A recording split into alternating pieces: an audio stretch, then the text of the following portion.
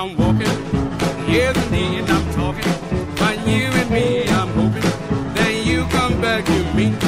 Mm.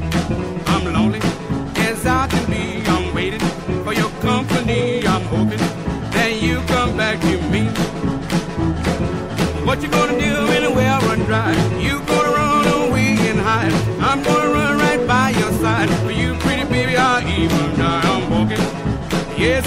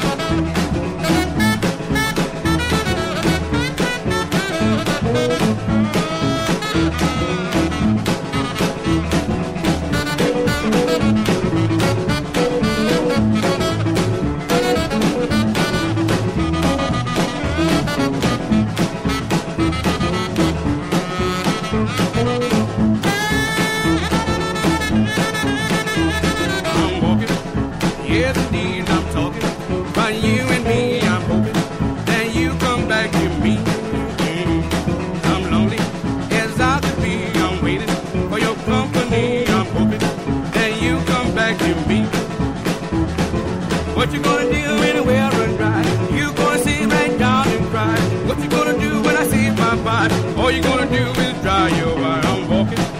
Yes, indeed, I'm talking. But you and me, I'm hoping that you come back to me.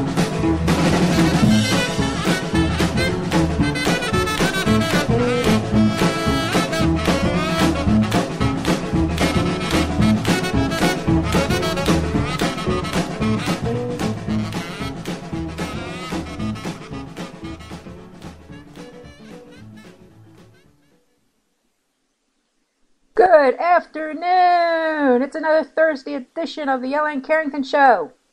My apologies for not having a broadcast yesterday. It's been quite a busy week though, so far, and I have another one coming up next week. But in any case, I hope everyone had a safe and happy Memorial Day this past Monday. You know, three day weekends are always fun, aren't they? Um, crazy weather around here in the Pittsburgh area. Went from one extreme to the other this week. Just on Monday, speaking of Memorial Day, felt like we were in early March, and uh, I actually had the furnace on because it got kind of cold in the house. But from yesterday on to today, and it's going to get even hotter tomorrow, kind of feels like we're in the middle of August. And this has happened all in the final week of May. And right now, uh, my weather bug temperature is reading 89 degrees. So, kind of like being back in Florida without leaving Pittsburgh. But in any case, if you like it hot, get out and enjoy, especially this weekend because all the pools are open and the parks, water parks are open. It's going to be great. So, take advantage of those. And speaking of getting out, couple of benefit walks are going on for some great organizations this weekend. First one is kind of close to me because I'll be participating. This is the Arthritis Walk taking place at Southside Works from 8 a.m. to 10 a.m. on Saturday morning. That's June 1st. And also on June 1st, if you have some energy left, be sure to take a trip to Northside over to Heinz Field for the Autism Speaks Pittsburgh Walk. Registration for that will be opening at 10 a.m. on Saturday morning, and the walk will kick off at noon. I'm going to post information about both walks websites after today's show, and both organizations will be happy to have you join them if you want to. You know, it's going to be a hot one, so be sure to wear cool, breathable clothing, take lots of water. And if you want to have some fun and support two outstanding charities and make some new friends at the same time, take one, take both walks, have some fun. Uh, looking forward to the arthritis walk on Saturday morning. It's going to be an early day, going to be a long day, it's going to be a hot day, but it's for a good cause, so all be worth it. And I was reading about a couple of stories, and a lot of people are upset about this. Actually, one of them took place right here in Pennsylvania. I don't know how many of you in the area have heard about this, but it was actually on a, quite a few news sites. Uh, a few people were upset. But Abby Carlson and Thomas Fissinger are facing child endangerment charges for letting their 10 year old daughter, get this, ride in a dog cage with the dog in a back of a pickup truck Monday evening. And what happened here was another motorist spotted the young girl in the cage. Uh, it was around 7 o'clock in the evening on the Pennsylvania Turnpike. They shot video and contacted police. And state what happened then, state police, they contacted the local authorities where this couple lives, and the locals arrested the couple at their home when they got there. Now, the parents are saying the girl loves playing with the dog in the cage. Maybe she does, maybe she doesn't. But in any case, they said they took measures to make sure the girl was safe by, quote unquote, having something to hold on to. Now, come on, people, really.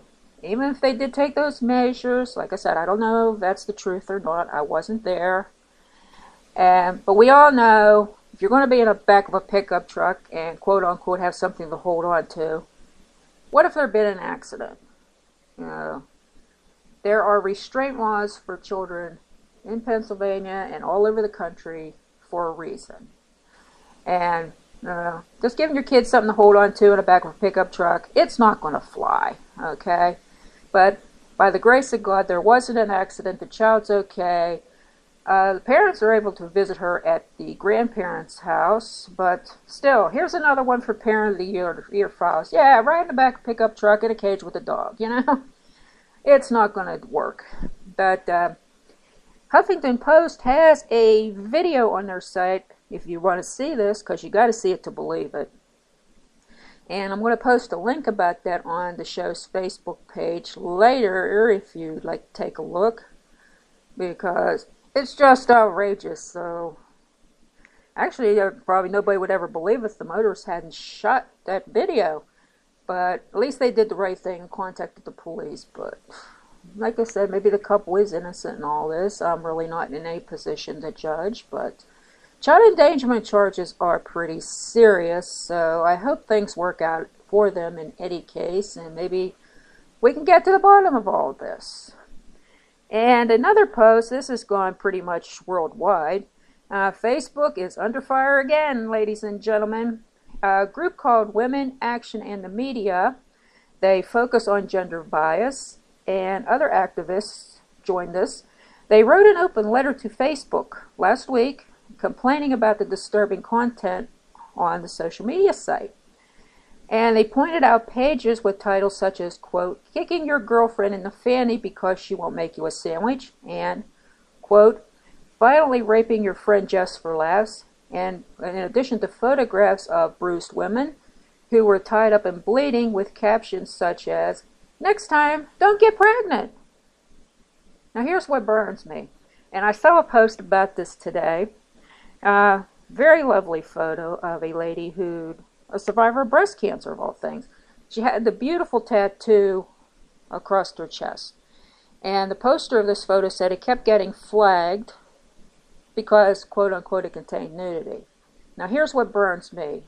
Now, what I just mentioned gets flagged. But apparently, you know, what I just read about women action in the media and a lot of other activists went after Facebook about what I just mentioned about kicking your girlfriend in the fan because she won't make you a sandwich, that type of thing. You know, Facebook seemed to think, oh, it's okay to post. No, it ain't. At least not my opinion. But what these groups did, they went after the advertisers. They started a petition. I mean, they really raised a stink about this. And you got to give them kudos for that because you know what? For those of you who did not get the memo, we are in the 21st century. Women are not objects, we are human beings, and people who will post anything promoting violence and you know, degrading women, you know what? You people deserve a swift thump in the butt with my size 7 foot.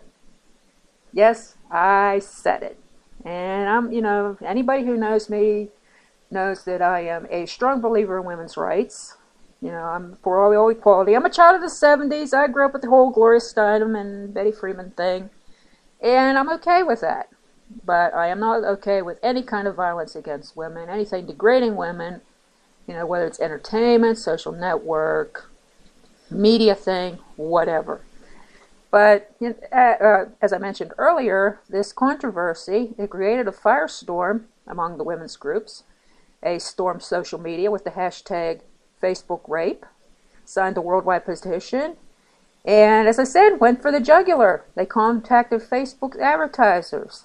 Now, here's Facebook, eventually owned up to it, and kind of admitted they were a my bad thing, and vowed to do better in catching the hate speech. So let's hope they, for their own sake, keep their promises because, like I said, 21st century, this kind of thing is not tolerated very well. But while we're talking about women, how about a little something positive in their favor and bless their hearts, especially these single mothers? More women are becoming the household breadwinners. Yeah, much different than 50 years ago or even when I was growing up. You know, dad went to work, mom stood home, or mom worked part time, dad brought in the money. But according to an article in the Washington Post, nearly 40% of mothers are now the family breadwinners. So, factors weighing in about this, as I mentioned, single mothers, bless their hearts, they're probably the hardest working women in the world, and I salute them greatly because they got to be mom and dad at the same time. Plus, they got to go out and you know earn a wage, take care of their kids. It's not an easy job, and my hat's off to you. But other factors are wives earning more than their husbands, and there's the good thing called role reversals. 21st century, nothing wrong with this, fellas. Dad is staying home to help raise the kids these days. Isn't that isn't that awesome? You gotta salute Dad for doing that. Know, I couldn't see my dad doing anything like that. I, you know, there were six of us. We probably would have driven the poor man crazy, but any dad who can stay home and help raise the kids while mom's the breadwinner, hey, good job to you, dad. But it's kind of a step for women in the right direction because in the past several years, um, studies have shown more women have attended college and received their degrees. And as an old cigarette ad once said back in my day, We've come a long way, baby. So, ladies, getting out there to earn that money, good job. But here's something I heard about this morning, and it really touched my heart. And we're going from working women to kids doing fundraisers. Now, you're going to love this. I hope, at least I hope you do as much as I did. A group of daycare children in Kentucky, they set up a lemonade stand to help those affected by the tornadoes in Oklahoma. Yeah, lemonade stand. Wow, how many years have those been around? But here's the twist. As of this broadcast, the youngsters have raised over $500 and they're going to donate all the proceeds to the Red Cross. Hmm. Who knows? They probably raised more than that since I heard about this story. I certainly hope they do because, wow, what a bunch of sweethearts. You gotta love kids. And you know, it's kind of nice to uh, here's some positive stories about because because you hear about them. You know, I heard a news story this morning about a 12 year old kid who murdered his sister. And it just breaks your heart about kids going. I wouldn't want to be a kid nowadays, and I wouldn't certainly want to send a kid to school nowadays because, you know, you got all these shootings and bombings and bullying, and it's just torture. But when I hear you know, about kids doing stuff like this about the fundraisers for the tornado victims in Oklahoma. It just touches your heart, and I think it's just fantastic. But in any case, if you'd also like to help the Oklahoma victims, uh, be sure to visit the Red Cross website for additional information. I'm sure they will welcome your donation. Or, you know, if you have any things around the house you want to send off them, you know, maybe contact your local Red Cross, see how you can do that. And donate some money, even if it's just ten dollars. Every little bit helps. You know, I might even kick that in that much. Uh, somebody, you know, tornadoes are devastating. Any kind of weather disaster is devastating. I mean, look how long it took for Joplin to rebuild. Even Hurricane Sandy hitting, you know, the Jersey Shore.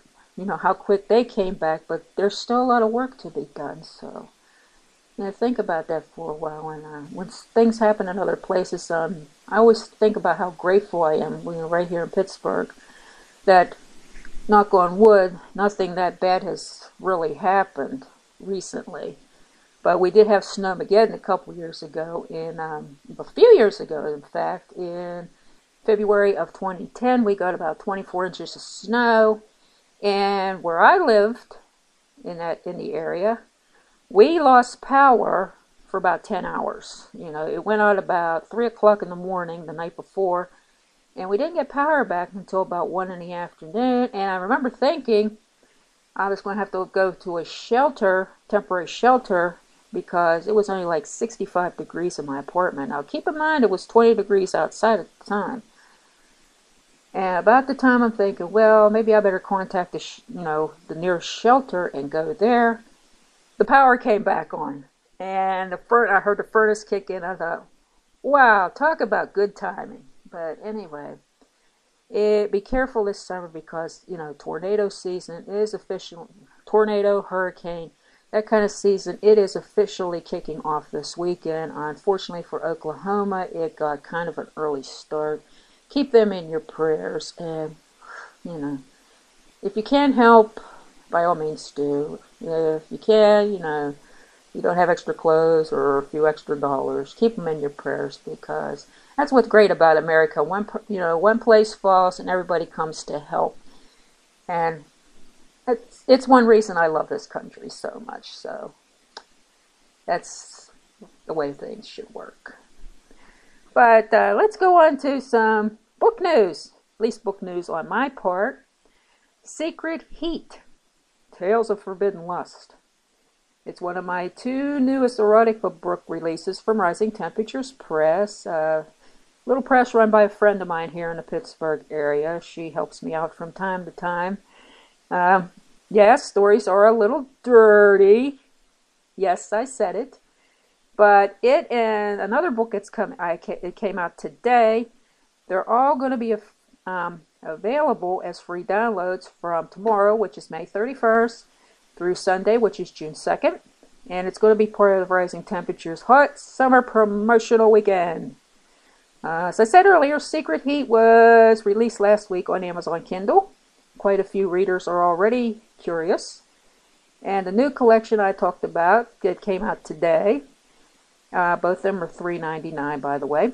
Uh, be warned, these books are not recommended for anybody under 18 years of age, even though I know you're reading them. I'm not naive, people. Been around the block a few times, so I know how sneaky kids can get, because I've been guilty of it too. But the new book that came out today is called Lusty Ladies and Bad Babes, also priced at $3.99. It's also a new collection of short stories. There's four of them. As a matter of fact, one of the stories was also found in Secret Heat. It's the last story in Secret Heat. It's the first story in Lusty Ladies. So Get one, get both. Eh, the big you know promos this weekend. Three days. Enjoy it. Let me know what you think of it. Uh, make sure you're either near a cold shower or you got a cold glass of water. Or even you got your husband or significant other or whatever, your wife, you know, boyfriend, girlfriend, life partner, whatever you want to call them. Hey, maybe make sure you have them nearby because you might need them if you know what I mean. but all these books, they're brought to you by Rising Temperatures Press. If you want to see the whole erotica collection from them that I've written the past year, I'll give you the link to my website page on that so you can take a look later. And on a side note, uh, any any any stories I usually mention on my shows, try to post the links to them. And for your reading pleasure or listening pleasure, viewing pleasure, because sometimes I do post videos. And speaking of all things reading, I didn't really plan on doing anything from Craigslist today, but there is one ad I found last Saturday. Yes, I was that bored. In the rants and raves section. And it, just cracked me up. I don't know why. You know, things, um, maybe you identified with this. You know, you're reading something and it just hits you funny. And you don't know why, but it does. And this this ad was just one of those. So the title of it is I Just Want to Get an Effin' Cheeseburger and was written by a guy in Pittsburgh. And it read, So I'm in need of a cheeseburger. A really banging delicious one. I don't usually ever say banging. and french fries. But none of my friends, all three of them, are down for it. So, stranger, let's get some food. I'm not crazy, but I'm weird. Hey, big news flash. That's half of Pittsburgh, including me. But going on here, my thought process is fast paced and I'm also socially awkward. But I overcome it by just being an absolutely awkward weirdo who embraces it. You gotta give the guy credit, at least he's honest. Here we go, is the rest of it. I'm offensive. I'm not effing ugly or crazy weird or a psycho, and I'm not looking for sex or even dating or whatever. I'm and I'm already attached. Let's just go get a damn cheeseburger somewhere good. And you gotta love Craigslist. It's like they come out of the woodwork. But I can't help but think, you wonder if this guy or girl or whoever, wonder if you've ever found anybody to get that cheeseburger. But hey, only in Pittsburgh, ladies and gentlemen. And you know what? While we're on the subject of Craigslist, uh, we got a few minutes here to kill. Might do a little bit of craziness today. I am going to hit the personals. Uh, okay. Horny dude looking for some quick fun. This ought to be a barrel last. I've been boned all day and looking for another horny dude to get off with. I'm fit, masculine, discreet. Hit me up. Okay, guys, this guy's 26 years old and he's got the bone on, so. You know how to do it. Contact him. He didn't say anything about pictures, though, so I guess right. I guess when you're horny, anything looks good. Well, I've been guilty of that.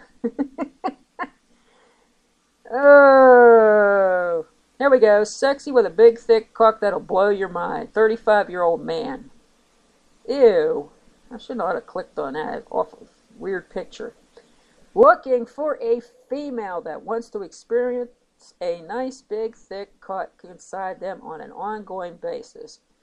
Very attractive ex football player. Drug disease free and a tongue that works wonders. I am very real and serious. No BBWs, only fit women. Well, the you too. I'm very discreet. Let's play. Your bra size in the subject line for a response.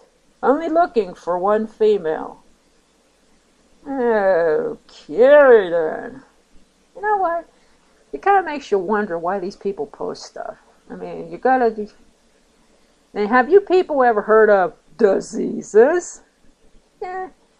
You know, go on a date. Uh, oh yeah, I met this dude at the supermarket, or I went to high school with this guy, or in my case, hey, I met him at Steelers training camp in 1996. I'm not trolling Craigslist looking for, you know, even at my horniest, I'm not going to go on tra- Craigslist and look for a guy, okay? Because you don't know what they have. And, you know, you probably heard, if you read the news, you've heard about people getting killed, getting abducted.